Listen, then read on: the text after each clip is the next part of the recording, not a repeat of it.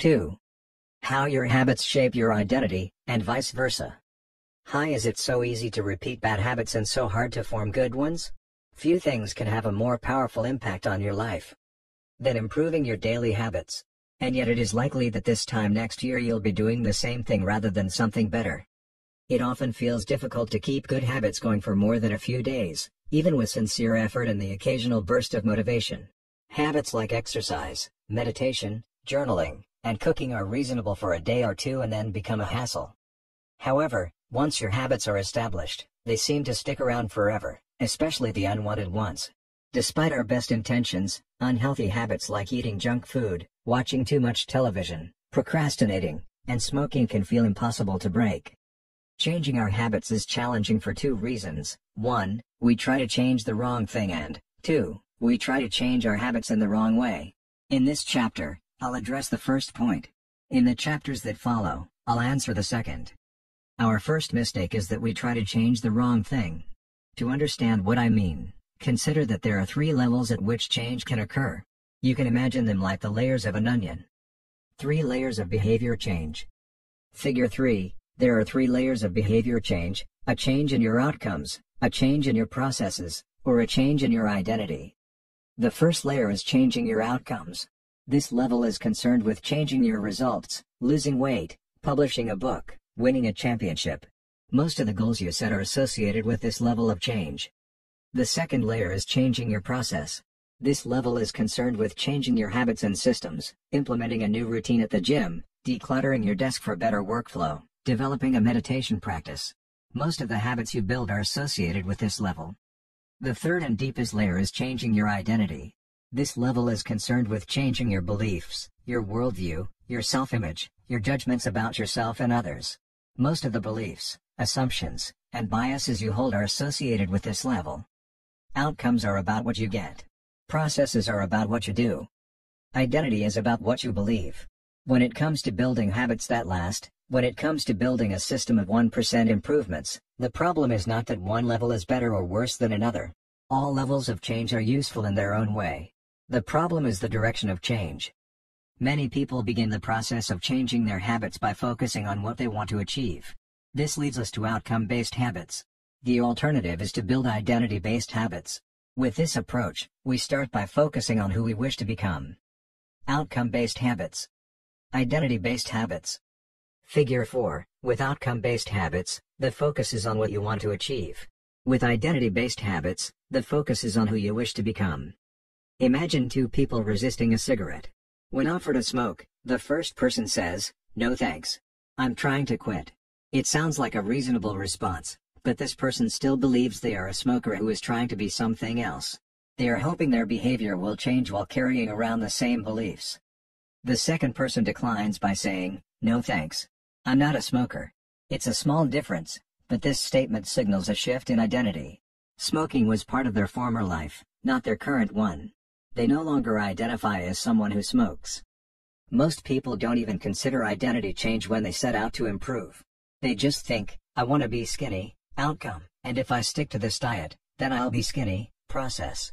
They set goals and determine the actions they should take to achieve those goals without considering the beliefs that drive their actions. They never shift the way they look at themselves, and they don't realize that their old identity can sabotage their new plans for change. Behind every system of actions are a system of beliefs. The system of a democracy is founded on beliefs like freedom, majority rule, and social equality. The system of a dictatorship has a very different set of beliefs like absolute authority and strict obedience. You can imagine many ways to try to get more people to vote in a democracy, but such behavior change would never get off the ground in a dictatorship. That's not the identity of the system. Voting is a behavior that is impossible under a certain set of beliefs. A similar pattern exists whether we are discussing individuals, organizations, or societies. There are a set of beliefs and assumptions that shape the system, an identity behind the habits. Behavior that is incongruent with the self will not last. You may want more money, but if your identity is someone who consumes rather than creates, then you'll continue to be pulled toward spending rather than earning. You may want better health, but if you continue to prioritize comfort over accomplishment, you'll be drawn to relaxing rather than training. It's hard to change your habits if you never change the underlying beliefs that led to your past behavior. You have a new goal and a new plan, but you haven't changed who you are. The story of Brian Clark, an entrepreneur from Boulder, Colorado, provides a good example. For as long as I can remember, I've chewed my fingernails, Clark told me. It started as a nervous habit when I was young, and then morphed into an undesirable grooming ritual. One day, I resolved to stop chewing my nails until they grew out a bit. Through mindful willpower alone, I managed to do it. Then, Clark did something surprising. I asked my wife to schedule my first ever manicure, he said. My thought was that if I started paying to maintain my nails, I wouldn't chew them. And it worked, but not for the monetary reason. What happened was the manicure made my fingers look really nice for the first time. The manicurist even said that, other than the chewing, I had really healthy, attractive nails. Suddenly, I was proud of my fingernails. And even though that's something I had never aspired to, it made all the difference. I've never chewed my nails since, not even a single close call. And it's because I now take pride in properly caring for them. The ultimate form of intrinsic motivation is when a habit becomes part of your identity. It's one thing to say I'm the type of person who wants this. It's something very different to say I'm the type of person who is this. The more pride you have in a particular aspect of your identity, the more motivated you'll be to maintain the habits associated with it. If you're proud of how your hair looks, you'll develop all sorts of habits to care for and maintain it. If you're proud of the size of your biceps, you'll make sure you never skip an upper body workout. If you're proud of the scarves you knit, you'll be more likely to spend hours knitting each week. Once your pride gets involved, you'll fight tooth and nail to maintain your habits. True behavior change is identity change. You might start a habit because of motivation, but the only reason you'll stick with one is that it becomes part of your identity. Anyone can convince themselves to visit the gym or eat healthy once or twice, but if you don't shift the belief behind the behavior, then it is hard to stick with long-term changes. Improvements are only temporary until they become part of who you are. The goal is not to read a book, the goal is to become a reader. The goal is not to run a marathon, the goal is to become a runner. The goal is not to learn an instrument, the goal is to become a musician. Your behaviors are usually a reflection of your identity. What you do is an indication of the type of person you believe that you are, either consciously or non-consciously. Research has shown that once a person believes in a particular aspect of their identity, they are more likely to act in alignment with that belief. For example, people who identified as being a voter were more likely to vote than those who simply claimed voting was an action they wanted to perform. Similarly, the person who incorporates exercise into their identity doesn't have to convince themselves to train. Doing the right thing is easy. After all, when your behavior and your identity are fully aligned, you are no longer pursuing behavior change. You are simply acting like the type of person you already believe yourself to be. Like all aspects of habit formation, this, too, is a double-edged sword. When working for you, identity change can be a powerful force for self-improvement. When working against you, though, Identity change can be a curse. Once you have adopted an identity, it can be easy to let your allegiance to it impact your ability to change. Many people walk through life in a cognitive slumber, blindly following the norms attached to their identity. I'm terrible with directions. I'm not a morning person. I'm bad at remembering people's names. I'm always late. I'm not good with technology. I'm horrible at math. And a thousand other variations. When you have repeated a story to yourself for years, it is easy to slide into these mental grooves and accept them as a fact. In time, you begin to resist certain actions because that's not who I am. There is internal pressure to maintain your self-image and behave in a way that is consistent with your beliefs. You find whatever way you can to avoid contradicting yourself. The more deeply a thought or action is tied to your identity, the more difficult it is to change it. It can feel comfortable to believe what your culture believes, group identity, or to do what upholds your self-image, personal identity, even if it's wrong. The biggest barrier to positive change at any level, individual, team, society, is identity conflict. Good habits can make rational sense, but if they conflict with your identity, you will fail to put them into action. On any given day, you may struggle with your habits because you're too busy or too tired or too overwhelmed or hundreds of other reasons. Over the long run, however, the real reason you fail to stick with habits is that your self-image gets in the way. This is why you can get too attached to one version of your identity. Progress requires unlearning. Becoming the best version of yourself requires you to continuously edit your beliefs, and to upgrade and expand your identity. This brings us to an important question. If your beliefs and worldview play such an important role in your behavior, where do they come from in the first place? How, exactly, is your identity formed? And how can you emphasize new aspects of your identity that serve you and gradually erase the pieces that hinder you? The two-step process to changing your identity. Your identity emerges out of your habits. You are not born with preset beliefs. Every belief, including those about yourself, is learned and conditioned through experience. More precisely, your habits are how you embody your identity. When you make your bed each day, you embody the identity of an organized person. When you write each day, you embody the identity of a creative person. When you train each day, you embody the identity of an athletic person. The more you repeat a behavior, the more you reinforce the identity associated with that behavior. In fact, the word identity was originally derived from the Latin words essentitas, which means being, and identidem, which means repeatedly. Your identity is literally your repeated beingness. Whatever your identity is right now, you only believe it because you have proof of it. If you go to church every Sunday for 20 years, you have evidence that you are religious. If you study biology for one hour every night, you have evidence that you are studious. If you go to the gym even when it's snowing, you have evidence that you are committed to fitness. The more evidence you have for a belief, the more strongly you will believe it. For most of my early life, I didn't consider myself a writer. If you were to ask any of my high school teachers or college professors, they would tell you I was an average writer at best, certainly not a standout.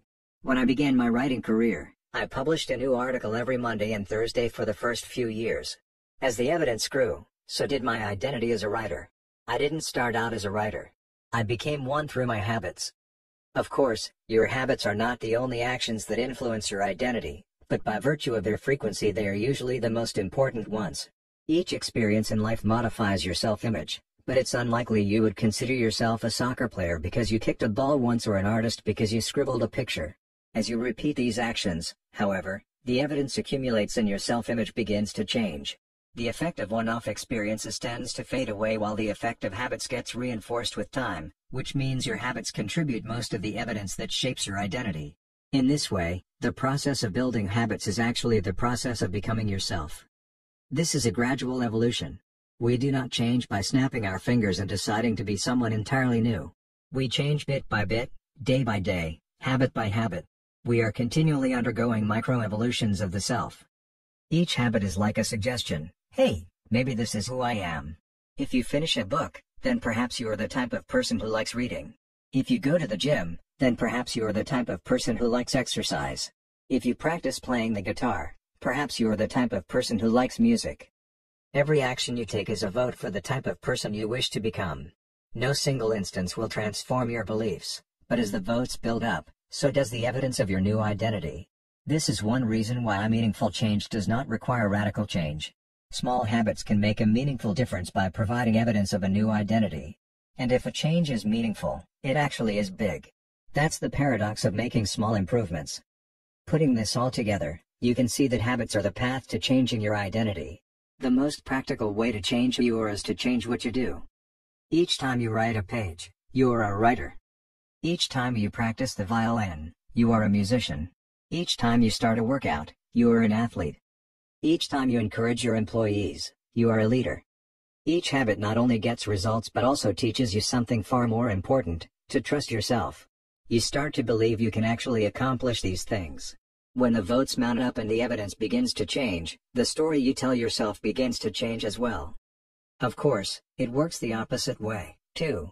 Every time you choose to perform a bad habit, it's a vote for that identity. The good news is that you don't need to be perfect. In any election, there are going to be votes for both sides. You don't need a unanimous vote to win an election, you just need a majority. It doesn't matter if you cast a few votes for a bad behavior or an unproductive habit. Your goal is simply to win the majority of the time. New identities require new evidence. If you keep casting the same votes you've always cast, you're going to get the same results you've always had. If nothing changes, nothing is going to change. It is a simple two-step process. 1.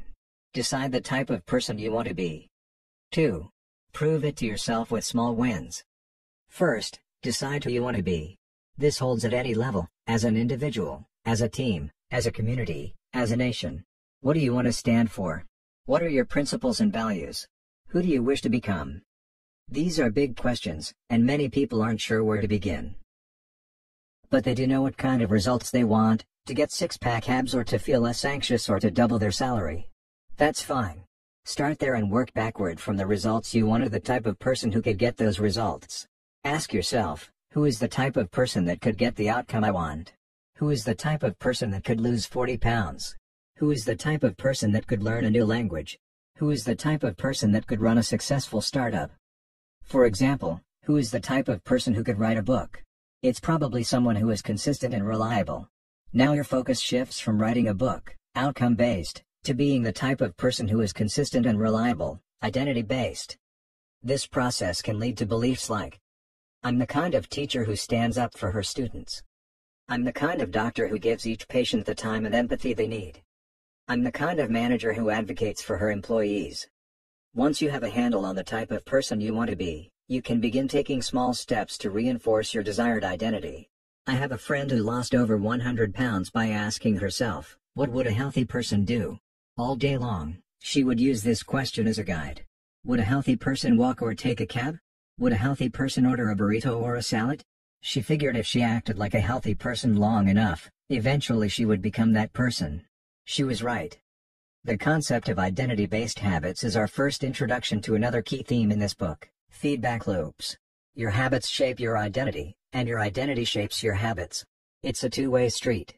The formation of all habits is a feedback loop, a concept we will explore in depth in the next chapter, but it's important to let your values, principles, and identity drive the loop rather than your results. The focus should always be on becoming that type of person, not getting a particular outcome. The real reason habits matter. Identity change is the North Star of habit change. The remainder of this book will provide you with step-by-step instructions on how to build better habits in yourself, your family, your team, your company, and anywhere else you wish. But the true question is, are you becoming the type of person you want to become? The first step is not what or how, but who. You need to know who you want to be. Otherwise, your quest for change is like a boat without a rudder. And that's why we are starting here. You have the power to change your beliefs about yourself. Your identity is not set in stone. You have a choice in every moment. You can choose the identity you want to reinforce today with the habits you choose today.